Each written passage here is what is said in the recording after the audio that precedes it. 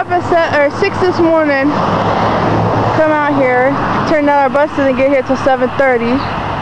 So I just want to show you all the pretty leaves and trees. Well, everyone's looking at me like I lost my mind. I think our bus is coming. So I'll see you guys later. Bye.